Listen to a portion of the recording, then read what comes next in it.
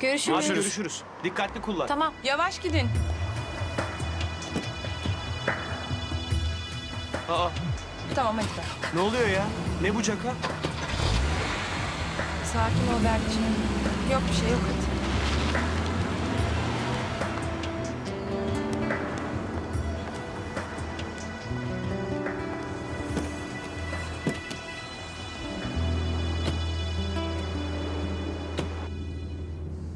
Kahretsin ya.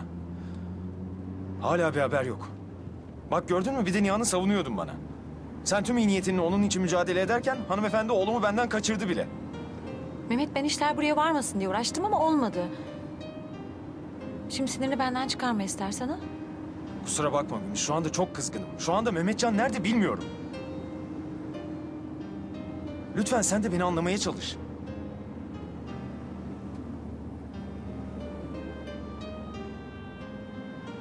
Allah'ım ya ne yaptığını zannediyor bir anlasam. Dünyanın öbür ucuna gitse yine de onu bulacağımı bilmiyor mu? Mehmet herkes hata yapabilir. Öyle sıkışıp kalırsın ki bir yerde yanlış kararlar verirsin. Nihan da yanlış bir yola girdi. Çaresiz bir annenin sakin kararlar vermesini bekleyemezsin. Mehmet bak Allah korusun ama bu işin sonu Rukiye gibi intihar bile olabilir. Birinin ölümüne sebebiyet vermek istemiyorsan gerçekten tekrar düşünmen lazım. Gümüş lütfen. Üstüme gelme. Bu konu hakkında seninle daha fazla tartışmak istemiyorum. Rica ediyorum bırak bildiğim gibi halledeyim olayı. Tamam sen bilirsin canım. Orhan'la konuştun mu? Ne demiş doktor? Ayrıntılı konuşamadım. Sadece biz iyiyiz abi eve geçiyoruz dedi. Üstelemedim yani. Şimdi gidince öğreniriz. Rukiye'nin böyle bir işe kalkışacağını anlamam lazımdı. Elinde öyle onu bebeğiyle görünce yalıda bir gariplik olduğunu hissettim ama... Rukiye, ah Rukiye niye konuşmazsın benimle? Niye anlatmazsın ki derdini? Belki de Orhan'la ciddi sorunları vardır. Durup dururken kürtaj olmalar, intihar etmeler. Hepsi üst üste bindi. Yok sanmıyorum Mehmet. Hiç sanmıyorum. Onlar birbirini çok sever Mehmet. Gümüş biz de birbirimizi çok seviyoruz ama neler yaşadığımızı unutma. Ne bileyim Orhan'la konuşup bir kulağını çeksem mi acaba? Mehmet Orhan'ı tanımıyormuş gibi konuşma. Melek gibi çocuk o. Asla karısını incitecek hiçbir şey yapmaz. Rukiye'nin derdi başka. Bebeğini aldırdığı için toparlanamadı. Kolay değil. Ölünce toparlanacak mıydı sanki? Kaçmak her zaman kurtuluş mu? Ne olursa olsun insan ne yaşarsa yaşasın hayatından vazgeçmemeli Gümüş. Hele de bir anne asla yapmamalı bunu.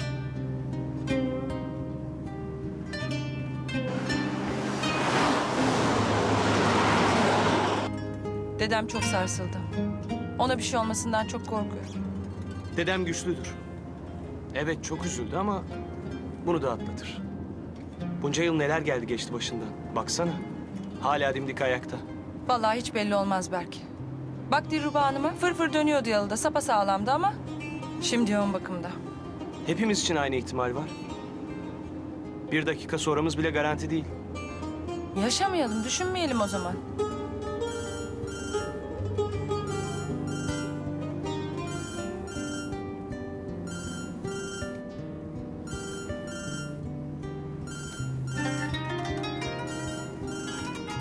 Ya abla açsana hadi. Çaldırma şunu. Efendim Selim. Bahar geçmiş olsun. Gökhan'dan duydum. Dedenin işi kalp krizi geçirmiş. Evet sağ ol. Çok korkuttu bizi ama şimdi durumu iyi. Yapabileceğim bir şey varsa hemen geleyim hastaneye. Yo teşekkür ederim. Zaten biz de eve geçiyoruz. Ben çok ciddiyim. Laf olsun diye söylemiyorum yani. Bana ihtiyacın olursa lütfen ara. Düşünmem bile yeter sağ ol. Gerçekten yok. Sonra görüşürüz o halde. Ben seni yine ararım. Dediğim gibi bana ihtiyacın olursa lütfen ara. Olur mu? Tamam söz ararım. Görüşürüz. Şirketteki Selim miydi arayan? Hı hı. Dilruba Hanım'ı duymuş da geçmiş olsun diyor. Yeni tanıdım ama belli.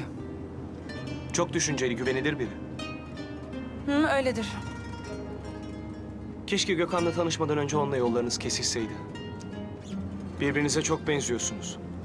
Kesin çok mutlu olurdunuz.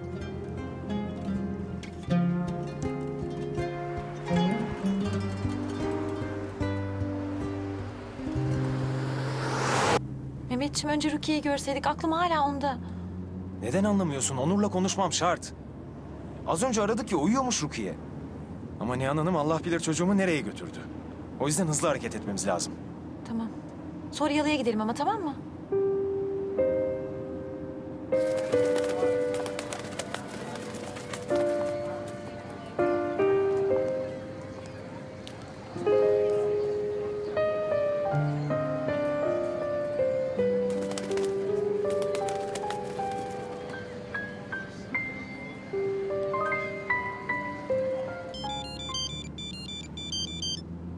Efendim.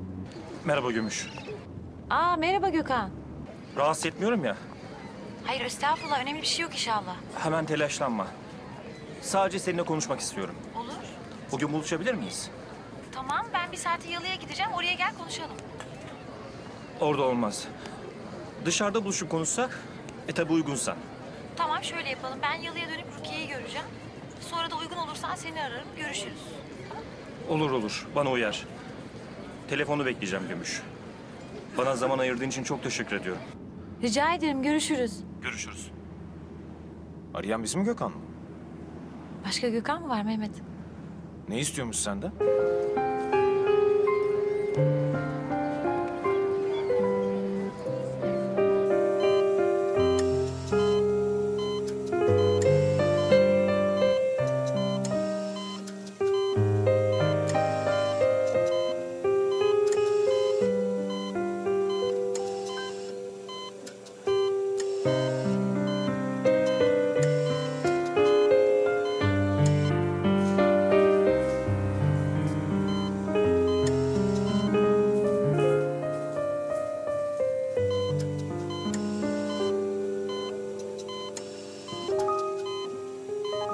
De böyle perişan oldunuz.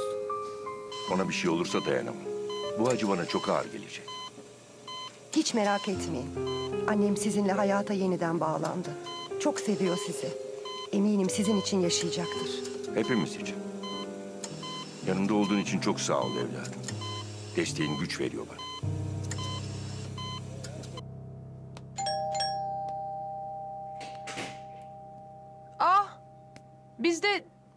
Çıkıyorduk. Hastaneye gidecektik. Yok canım gitmenize gerek yok biz hastaneden geliyoruz. Görebildiniz mi Dilruba Hanım'ı? Nasıldı? Yok göremedik. Doktor iyi dedi ama. Ee, sizin suratınız niye böyle bir karış? Yoksa Rukiye kötü mü? Ee, iyi demişti annem. Yok hayatım Rukiye iyi dinleniyor telaşlanma. O halde ne bu haliniz anlatsanıza. Mesele Nihan. Mehmetcan'ı da alıp ortadan kayboldu. Ne? Aa, Velayet davası yüzünden ne yapacağını şaşırdı. Şimdi de oğlumu kaçırdı. Mehmet emin misin? Nihan böyle bir saçmalık yapmaz. Pınar, neredeler o zaman?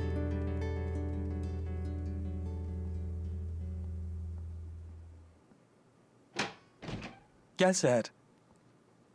Hala uyuyor mu? Ver bana. Uyuyor uyuyor. Sen de bütün gece uyumadın Orhan abi. Ben Gümüş bebeği yatırdım. Başında da Ayşe var. Biz iki koldan bütün işleri hallettik. Hadi azıcık karnını doyur, sen de yat uyu biraz. Sağ ol Seher. Ya siz olmasanız ne yapardım ben? İşleri güçleri de halledemedim. Her şey size kaldı. Sen meraklanma. Zaten evde kimse yok ki. Hallederiz biz. Yeter ki siz iyi olun. Hadi size iyi dinlenmeler. Sağ ol Seher.